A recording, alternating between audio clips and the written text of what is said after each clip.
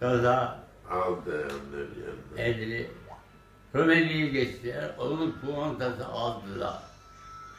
Çünkü biliyorlardı ki bu demir yayla, demir yayla, bu evranın seyrine Allah kendilerini zafere götürecektir. Ha, işte bak inanıyor.